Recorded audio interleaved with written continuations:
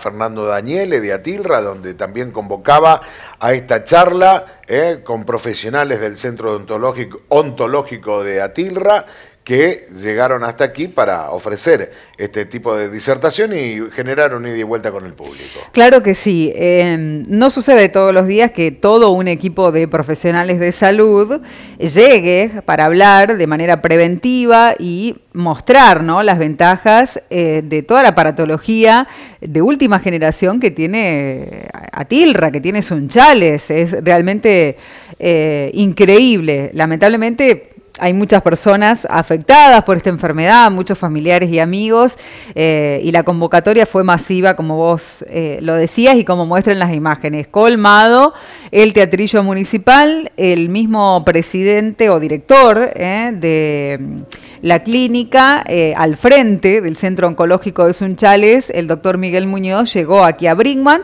lo hizo también Cristian Porrato, Lucía Suárez, Alejandro Landucci y Ezequiel Poseto. El mismo Héctor Ponce, ¿no? El secretario general de Altierra en primera fila, llegó para acompañar a todo el plantel del Centro Oncológico que tiene Atilra. Así que gente que también se quedó afuera, ¿no? Y algunos que por algún motivo no pudieron ir, pero que hubieran querido estar presentes. Pero estaba viendo que han agregado silla al costado de más en el pasillo prácticamente, ¿no? También. O sea que fue muy buena la convocatoria, teniendo en cuenta que es la tercera que se realiza, como decía Fernando Daniel los otros días, la primera se hizo en Villa María y la segunda en Rafaela. Y esta tocó a Brigma, con muy buena convocatoria, con gente de la región que se ha llegado también. Claro que sí. Vamos a compartir al menos la palabra del doctor Miguel Muñoz. Sí, hay mucho más material que se va a estar ampliando en C1 Noticias, pero bueno, compartimos todo esto, lo que pasaba anoche en Brinkman, en el Teatrillo Municipal.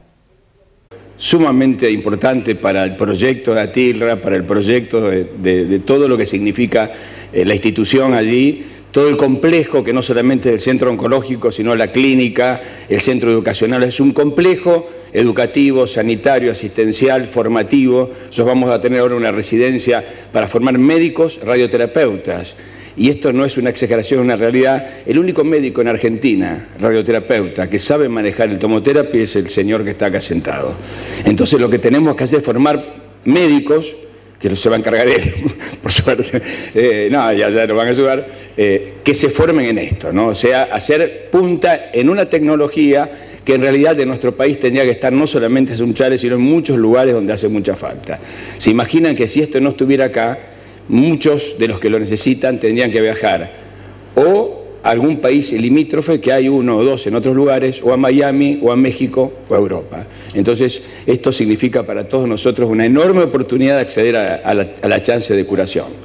No dejo de ponerme muy nervioso, mucho más nervioso de cuando hablo ante colegas, porque cuando uno se enfrenta a los colegas, o habla con los más o menos sabe, uno tiene preparado todo, sabe quién va a ir, quién no ir, los conoce, pero cuando uno va a hablar a personas que no son médicos muchos o que tienen en realidad no es fácil porque es un grupo heterogéneo, que cada uno tiene su experiencia, cada uno de vida, personal, que seguramente, y vamos a hacer una prueba, yo eh, quisiera que levantaran las manos, ¿quiénes de ustedes tienen algún familiar o han tenido un familiar con cáncer de los que están acá? O sea, la cantidad de personas que han tenido contacto, no solamente, o, que, no voy a preguntar por una cuestión íntima, quiénes han estado enfermos, que han superado la enfermedad, pero ese es todo un tema, ¿no? Entonces, cuando uno le pregunta qué es el cáncer, y el cáncer es una enfermedad absolutamente personal, individual y que se vive de una manera absolutamente irreproducible. Ningún paciente, ningún ser humano es igual a otro cuando se enfrenta a sufrimiento. Y cada uno hace lo que puede. Entonces, ¿qué, es lo que puede? Eh, es una definición más bien social eh, que tiene que ver con la vida cotidiana y que realmente eh, es algo que nos preocupa a todos. ¿no? Eh, yo la otra pregunta, ¿quién en algún momento no se preguntó si podía estar enfermo cuando le sale un bultito, alguna cosa? ¿Qué es lo primero que uno piensa cuando le aparece algo? Eh, lo primero que uno piensa cuando voy a tener algo malo, una mujer se toca un bultito, voy a tener... En general, el cáncer es hoy una enfermedad que está presente en la vida cotidiana. Y usted dice, ¿está presente en la vida cotidiana? Está presente, muy presente, quizás mucho más presente que por ejemplo, los pacientes que tienen problemas vasculares. Es muy común ir a, ir a comer un asado y se che, a fulano de tal le pusieron tres estén. Está fenómeno. Y es muy común que los pacientes que han tenido cáncer en esa misma mesa no lo puedan decir o no lo quieran decir. Aún sigue siendo una enfermedad que estigmatiza. Ha cambiado mucho eso y esto es un ejemplo de eso, ¿no? Y que uno pueda hablar, pueda preguntar. A mí me interesa mucho más que me pregunten, mucho más dejarles dudas que sacarle todas las dudas que va a ser imposible, ¿no? O sea, dejarle dudas, que pregunte. Entonces, es todavía una enfermedad que estigmatiza. Y esa estigmatización hace que uno tenga mucho miedo. Y el miedo lleva a que uno se paralice y no pregunte. Y que en la vida lo mejor que uno puede hacer es preguntar. Preguntando se llega a Roma.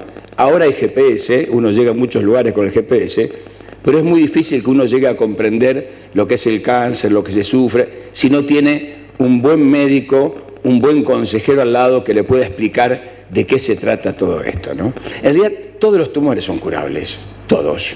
No hay tumores incurables. El tema es el momento biológico, no solamente del tumor, sino de la persona en que uno descubre la enfermedad. ¿eh? Por eso es tan importante lo que después Lucía va a profundizar, yo voy a hacer la introducción, que es cuidarse, preguntar, ir al médico, tener un médico de confianza y hacer los estudios que uno tiene que hacer. Eso es crucial. O sea, el momento en el cual uno descubre la enfermedad es un momento crucial en el cual depende el futuro de ese, paciente, depende de ese momento. ¿El cáncer es una enfermedad que es genética? Sí, es genética. Porque para que una célula cambie su característica, para que se forme un nódulo en la mama, que es un nódulo tumoral, o un nódulo en el, en el colon, que es un nódulo tumoral, las células tienen que cambiar, tienen que perder todo respeto por las normas, las buenas normas de crecimiento de nuestros tejidos y convertirse en un, en un proceso irracional que crece de una manera, tiene que cambiar. Y es, y es una enfermedad genética, es verdad. Pero lo genético no es sinónimo de que el cáncer siempre se hereda. Más aún, no llega al 2 o 3% de los cánceres que se heredan, o sea que se transmiten de padres a hijos, de madres a hijos. Los hay, los hay, pero la genómica, que es esto, nos ha enseñado a descubrir muchos ya de esos tumores. Hay vacunas, dice doctor, hay vacunas contra el cáncer.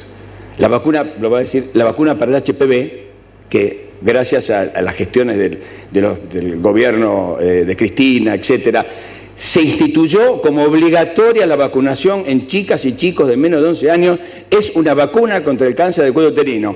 Llamativamente, el cáncer con más frecuencia en el norte de la provincia de Santa Fe y en el norte de Argentina. ¿Y para qué le voy a contar? Y de más mortalidad en gente muy joven. O sea, es una enfermedad absolutamente evitable.